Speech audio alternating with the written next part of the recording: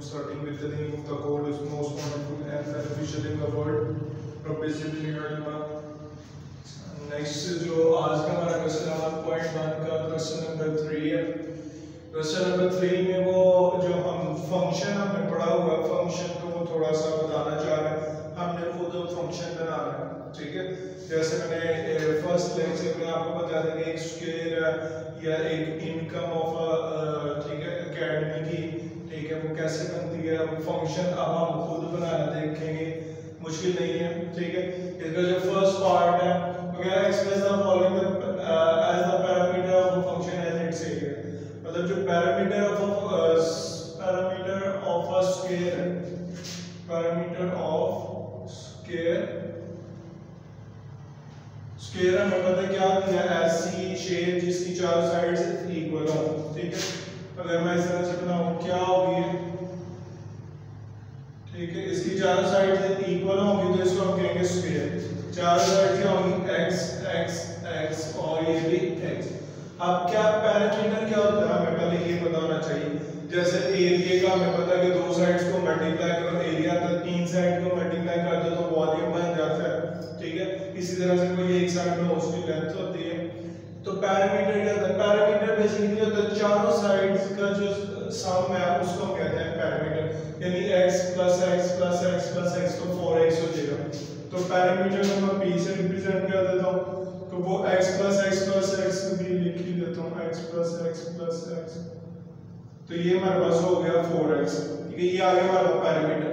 वो कह रहा है एरिया आपने बनाना है। अब एरिया तो हमें पहले ही, पता क्या होता है? एरिया है टू साइड्स को मल्टीप्लाई कर दो एक्स के अब हमने पैरामीटर को बनाना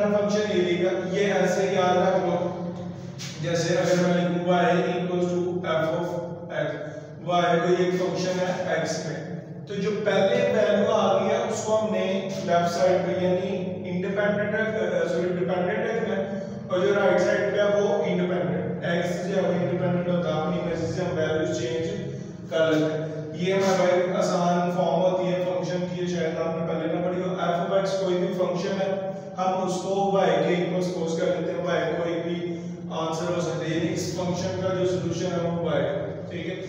अब हम लेंगे इस, ये फॉर्म बनानी है जो जनरल फॉर्म होती है।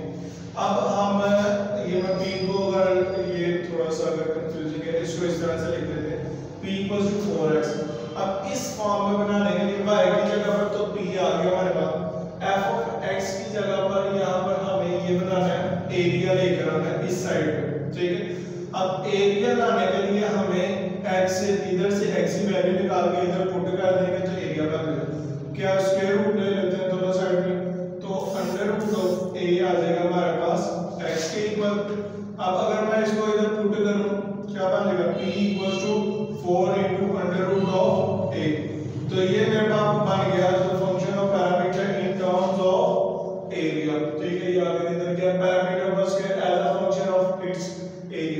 मतलब पैरामीटर को हमने बनाया किसका एरिया का फ़ंक्शन एरिया चेंज होगा तो पैरामीटर कैसे चेंज होगा? तो मेरे ख्याल में ये इजी सा ही क्वेश्चन है, मुश्किल नहीं है। थोड़ी सी ये टर्म्स में मसला होगा, मैं फिर से रिपीट कर देता हूँ। क्वेश्चन उसने क्या एक्सप्रेस द फॉलोइंग क्या मतलब जो नीचे वाली है उसको जो भी उसने कहा होगा, उसके मुताबिक सॉल्यूशन करना the perimeter of a square as a function of its area क्या हमने एक फ़ंक्शन जिसमें पैरामीटर और स्क्वायर हो सॉरी एरिया हो सबसे पहले तो हमें ये पता होना चाहिए पैरामीटर और एरिया ये दो टर्म्स होने चाहिए हमारे पास, ठीक है? ये वाला हमें फ़ंक्शन बनाना है। अब कौन सा इधर पहले लेंगे कौन सा बाद में? ये अगर नहीं समझ आ गई तो आप ये तीन पाँच जो है, उसमें रट्टा लगाने के लिए ये जो पैरामीटर अगर उसने पहले कह दिया तो आपने पहले वाला फ़ंक्शन पहले रखना है, ठीक है? एरिया उसने बाद है लिखना है, ठीक है? अब इसी तरह से the area of a circum इसका जो सेकंड पार्ट है, मैं थोड़ा सा आपको बता देता हूँ, उसकी वैल्यू लिख देता हूँ. एरिया ऑफ़ सर्कल वो हमारे पास पाई एक्स या पाई आर